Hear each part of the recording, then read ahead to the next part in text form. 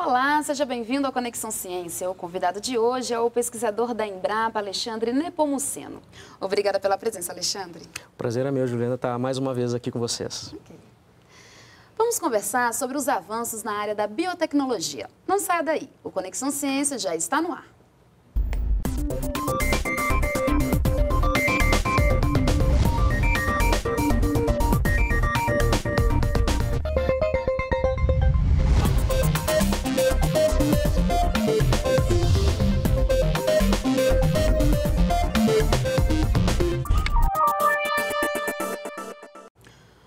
Agronegócio vive atualmente uma revolução, principalmente no que diz respeito à área de genética e biotecnologia. O avanço é tão surpreendente e acontece de forma tão rápida que não faltam novidades no meio científico para serem debatidas. Vamos conhecer agora algumas inovações que já estão mudando a vida no campo. Então, Alexandre, né, fala para gente é, no que diz respeito né, à genética na área do agronegócio, né, o que nós temos de avanço nesses últimos anos. Na verdade, a humanidade vive uma revolução. Especificamente no, no agronegócio, a gente pode dizer que a gente vive hoje, não só no Brasil, no mundo, duas grandes revoluções. Uma da área da agricultura digital, com conexão 5G, blockchain, big data, né? Que nós estamos vendo aí no Brasil o surgimento de várias startups desenvolvendo aplicativos, otimizando os recursos da propriedade, né, otimizando o uso dos recursos que o produtor tem para aumentar a sua produtividade. Uhum. Mas pouco tem se falado da segunda revolução, que é a revolução na genética. Né? Uh, se você for ver hoje no mundo, o número de startups que mais abre é justamente na área de genética. Não no Brasil, mas isso felizmente está mudando. Sim. E dentro da área de genética a gente pode comentar várias coisas. Eu acho que uma das grandes revoluções que, que eu acho que o nosso país deveria investir um pouco mais é nessa parte de, de sequenciamento de DNA. Né? Uh, assim, só para dar um exemplo da, da velocidade como as coisas estão ocorrendo. O genoma humano foi sequenciado, finalizado, uh, o, o, primeiro sequenciamento uma, do DNA de uma pessoa em 2010. Tá? D uh, custou mais de 2,4 bilhões de dólares. Bilhões de dólares. Hoje, é possível sequenciar o DNA, o genoma de qualquer pessoa, tá? na faixa de 500 a mil dólares, em questão de quatro horas. Vamos trazer isso para o agronegócio. Os equipamentos, os algoritmos, né? a tecnologia sendo gerada para sequenciar DNA, hoje, por exemplo, para sequenciar o DNA da soja, a primeira variedade de soja sequenciada demorou mais de oito anos e custou 50 milhões de dólares. Hoje, por 500 dólares, eu sequencio o DNA de qualquer variedade. Por que, que isso é importante? Porque isso é a base de informação que eu vou usar para desenvolver estratégias para solução de problemas, por exemplo, fazer uma variedade mais tolerante à seca, uhum. mais tolerante ao alagamento, resistente a doenças, né? E uma outra coisa importante também, aí tem muito a ver com a biodiversidade no Brasil, o Brasil tem em torno de 25% da biodiversidade do planeta. Sim. Né?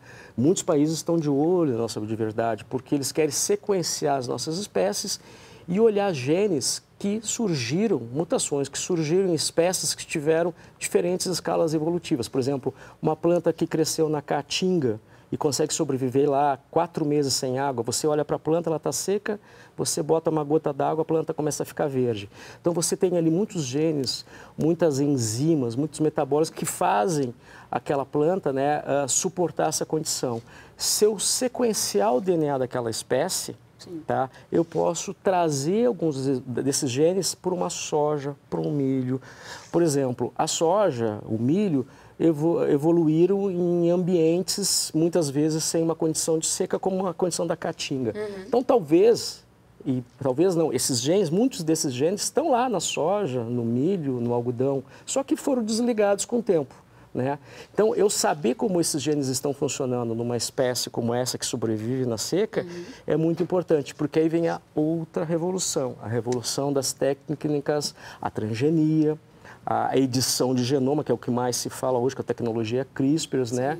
E outras técnicas que estão vindo por aí, como o RNA interferente. Então, é, a gente pode dizer que o sequenciamento do DNA seria a base de tudo isso. Com certeza. E a partir daí a gente pode utilizar técnicas, ferramentas para fazer é, esse, né, é, isso que você acabou de falar, de, de alterar, editar uhum. genomas, né?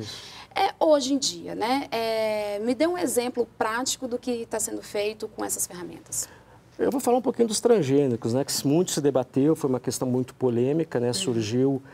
Na verdade, o, o, primeiro transgênico na agricultura surgiu em 94, um tomate, quase ninguém falou, mas o mais famoso foi a soja resistente ao herbicida glifosato em 96. Sim. Foi muito polêmico, mas as, muitas, a maior parte da população não sabe que os transgênicos se usava desde a década de, final da década de 70, 80. Por exemplo, praticamente toda a insulina consumida hoje no Brasil é transgênica. Você pega o DNA humano, bota numa bactéria e a bactéria produz. Tá? Mas a grande polêmica surgiu com os transgênicos, né? Muita desinformação, muito jogo de interesse, sentia uma preocupação por biossegurança, mas nós estamos aí há mais de 20 anos usando os transgênicos Sim. e nunca se identificou nenhum impacto à saúde humana, ao meio ambiente, né? aos animais, aos humanos. É uma tecnologia importante, vai continuar sendo, só que por causa de toda essa polêmica que surgiu no mundo, né, cada país criou uma regra. Criou uma regra para poder liberar o uso no seu país. Né? A Europa criou regras, a China criou regras, Estados Unidos, Brasil, e isso elevou os custos de desenvolver essa tecnologia de uma maneira absurda. Alguns custos estimados hoje para fazer uma variedade, uma commodity, uma soja, um milho, um algodão transgênico, está na faixa de 130 milhões de dólares. Tá? Na prática, o que aconteceu? Isso alimentou a possibilidade de gerar produtos, soluções, agregar valor para produtos na agricultura usando a biotecnologia para quatro empresas hoje, né? Sim. Só que a evolução da tecnologia está surgindo muito rapidamente. Uhum. Mais ou menos ali em 2011, né, surgiu uma tecnologia chamada CRISPR, de edição de genomas. A edição de genoma já existia desde, os, uh, desde a década de 80, com técnicas como Zing Fingers, Talens, mas eram técnicas caras, complicadas, não tão precisas. A partir de 2011, ali na Universidade de Berkeley, na Califórnia, a Jennifer Dona, que é uma, das inventoras, descobriu essa tecnologia chamada CRISPR, que permite você olhar o DNA da sua espécie e fazer pequenas alterações para introduzir características ou corrigir erros que tenham em determinados genes. E essa técnica é muito mais barata, muito mais rápida, muito mais precisa. Tá? E muitas vezes você usa ela para olhar mutações que já, já existem na natureza uhum. tá? e introduzir na sua espécie para resolver um determinado problema. E o que está acontecendo no mundo é que vários países, as Américas principalmente, a Argentina foi o primeiro país a botar a legislação que regulamenta isso e analisa caso a caso. E em muitos casos, como você está simplesmente colocando uma mutação, usando o CRISPR, por exemplo, para introduzir uma mutação que já existe na natureza, uhum. tá? Não tem por que ser considerado como um organismo eh, geneticamente modificado. Na verdade, você está auxiliando os programas de melhoramento a serem feitos de uma maneira mais rápida, uhum. coisa que a humanidade já faz, cruzando a espécie A, a, o, a variedade A com a variedade B, só que agora com essas técnicas uh, que demoram muito tempo, demoram às vezes 5, 10 anos, uhum. eu posso olhar uma mutação que tem na variedade A de soja ou de milho, por exemplo, e transferir usando o CRISPR para aquela variedade uh, uh, aquela outra variedade de soja. Você veio aqui mais ou menos em 2014 para falar é, justamente sobre essa técnica. De lá para cá, Alexandre, o que, que avançou? Né? O que, que foi feito a partir dessa técnica? É, os avanços são incríveis, né? cada dia surge uma, uma inovação. Eu, eu acho que é importante, eu, eu até finalizar o que eu comecei a dizer, com relação à legislação se modernizou, não só foi a tecnologia que evoluiu. E ao se modernizar, ela analisa caso a caso. E uh, países como o Brasil, Argentina, como eu comentei antes, fizeram, os Estados Unidos, Canadá, analisam caso a caso. E em muitos casos dizem, não, isso não é um transgênico, não é um organismo uh, geneticamente modificado. Uhum. Isso reduz o custo em mais de 60% de colocar um produto no mercado. E o que, que a gente está olhando que está acontecendo uh, nos Estados Unidos, no Canadá, mas principalmente aqui nos países da América do Sul? O Chile também está com uma legislação muito semelhante. O Paraguai acabou de colocar uma legislação, o Uruguai está prestes a sair. O primeiro país, como eu falei, foi a Argentina uhum. e logo em uhum. seguida o Brasil. Né? O que a gente está vendo é o surgimento de startups com foco em biotecnologia, porque a gente fala muito em startups na área da agricultura digital. Uhum. E, e, o que está acontecendo na prática? Você está tendo uma democratização do uso da biotecnologia na agricultura. Uhum. Como eu comentei antes, transgênicos, hoje só quatro empresas conseguem colocar produtos no mercado pelos custos elevadíssimos. Né? Mas com essas técnicas que uh, imitam muitas coisas que a natureza já faz, a biossegurança está preservada para que exista uma análise, né? Uhum. você está permitindo o surgimento de pequenas e médias empresas. E uma outra coisa importante, de novo, por causa de toda a polêmica dos transgênicos e pelo custo, o pessoal acaba investindo só nas grandes commodities que é milho, soja, né, algodão, cana. E o que está observando na Argentina, ainda não no Brasil, mas na Argentina, é o surgimento do uso de, de empresas usando essas tecnologias de edição de genoma uhum. em outras espécies, que têm problemas que dificilmente seriam resolvidos uh, com outras técnicas e com até essas técnicas mais recentes de biotecnologia uh, tem sido possível essa, essa solução de problemas ou agregação de valor. Então, no caso, a, nossa legislação ela tem contribuído também para essa democratização. Com certeza. Uhum. A Comissão Técnica Nacional de Biossegurança aprovou em janeiro do ano passado uma legislação que moderniza a nossa lei de biossegurança e a lei de biossegurança foi muito inteligente em 2005, quando nem se falava em edição de genoma, né, em colocar um artigo na lei que, de, que dava para a CTNBio, a Comissão Técnica Nacional de Biossegurança, uhum. que é uhum. composta de 27 doutores, especialistas, né, de analisar a evolução tecnológica né, que acontece no mundo, propor regras para manter a biossegurança, mas também que permita a evolução tecnológica do nosso país, uhum. gerando empresas, gerando know-how aqui, gerando empregos e fazendo com que os ganhos dessas tecnologias fiquem no nosso país, né?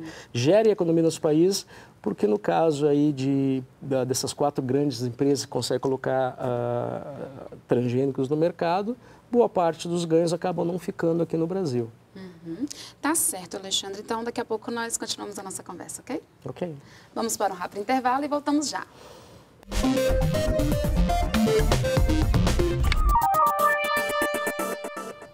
Estamos de volta com o Conexão Ciência. Hoje eu recebo o pesquisador da Embrapa, Alexandre Nepomuceno, que fala sobre os avanços na área da biotecnologia. Alexandre, voltando um pouco né, para essa técnica CRISPR, né, que uhum. é uma técnica de edição de, de genomas, uhum. é, ela foi utilizada recentemente na tilápia, né? Com qual objetivo? Uh, existe um gene chamado miostatina que ele está envolvido na produção de massa mu mu uh, muscular, né? Uh, em, todos os, em todos os animais. Uh, e se identificou em algumas espécies de animais e peixes que uma mutação que desliga esse gene faz com que se aumente a produção de massa muscular em torno de 15 a 20%. Sim. O que foi feito é, foi se identificar essa mutação e usar a tecnologia CRISPR para introduzir em tilápias. Tá? Então, se introduziu essa mutação, uma mutação que já existe na natureza, uhum. e essas tilápias produzem em torno aí de 15% a 20% a mais de massa muscular, que é extremamente interessante para a produção de, de carne em uhum. piscicultura. Né? Uh, eu queria fazer um paralelo, porque você, você alterou um gene que já é conhecido, que já existem mutações em várias espécies de peixes e outros animais que causam esse tipo de efeito. Né? Você só usou a tecnologia CRISPR para fazer isso de uma maneira mais rápida e mais precisa. Né? Uh, eu queria trazer um, trazer um, traçar um paralelo com o salmão transgênico, que está sendo consumido nos Estados Unidos uh, pelo público e no Canadá já faz dois anos. Esse salmão, por toda a causa da polêmica em cima dos transgênicos, levou 25 anos para ser liberado comercialmente. Está né? Tá sendo consumido sem nenhum problema. Né?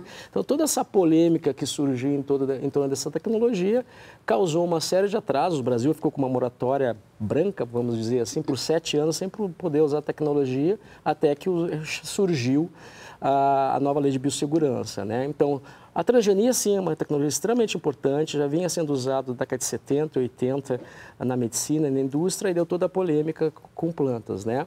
Vai continuar sendo importante, mas poucas uhum. empresas vão conseguir colocar no mercado. Com a evolução da tecnologia, como eu falei, com as técnicas de edição de genoma, você consegue acelerar programas de melhoramento, né, sem precisar trazer um gene de outra espécie. Você olha mutações na tua própria espécie Sim. e usa a tecnologia CRISPR para introduzir uma de determinada característica de interesse. O caso da tilápia é um caso típico, existem exemplos em milho, né, também já tanto a Argentina quanto o Brasil, Estados Unidos, considerou o milho como um milho convencional. É uma mutação que já existia no milho, só que em milhos de baixa produtividade. O que uma empresa fez, ela usou a tecnologia CRISPR para botar essa mesma mutação num milho de alta produtividade, num híbrido de alta produtividade, né? E esse milho, especificamente com essa mutação, produz um amido mais interessante para usos industriais. Então, essa técnica ela pode ser utilizada tanto na área animal quanto na área vegetal? Sim, com certeza. Uhum. Em qualquer ser vivo, em qualquer espécie. Uhum. E, inclusive, também é, em outras áreas que não seja agropecuária. Com certeza. Uhum. A, a, tecnologia CRISPR já tem sido usada em algumas estratégias. No Brasil, ainda eu particularmente não sei de nenhum grupo, mas certamente tem grupos trabalhando na área médica, né? Mas principalmente na China e nos Estados Unidos, tem se usado estratégias de edição gênica para estratégias de cura de câncer e, e cura de AIDS, né? São trabalhos muito preliminares ainda, né? Mas é uma tecnologia com esse potencial para fazer uh, com que as pessoas sejam curadas dessas, dessas uhum. doenças. Mas é uma, são coisas muito preliminares ainda. Sim. Agora, voltando um pouquinho né, na nossa, no setor agropecuário, é, vocês estão sequenciando uma planta uhum. é, da caatinga, né? É, com qual objetivo? É, nela também vai ser utilizada essa técnica de edição de genoma? Uh, um dos objetivos é esse, sim, né? Uh, esse é um trabalho em parceria com a Unicamp, está sendo feito na unidade mista entre a Embrapa e a Unicamp, né, que fica ali em Campinas, né? Tem vários pesquisadores da Embrapa envolvidos nesse processo. Essa espécie veloz é uma, é uma planta que a gente chama planta de ressurreição. Então, é uma planta, como o exemplo que eu comentei antes, né? Você olha para ela, você pensa que ela está morta. Ela fica quatro, cinco meses sem água e parece que ela está completamente seca. Quando você irriga, ela, assim, em questão de horas, ela fica verde. Então, você tem muitos genes, muitas uh, substâncias interessantes ali. Então, é interessante você olhar o DNA, olhar esses genes, né? E depois olhar esse mesmo gene que certamente ele vai estar presente num, numa, numa soja, num milho, no algodão, mas muito provavelmente inativado, porque essas espécies não se desenvolveram na caatinga, então elas desligaram esse gene, esse gene foi desnecessário.